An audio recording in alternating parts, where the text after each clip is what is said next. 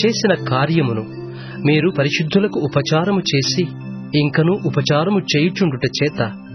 తన నామమును బట్టి చూపిన ప్రేమను మరచుటకు దేవుడు అన్యాయస్థుడు కాడు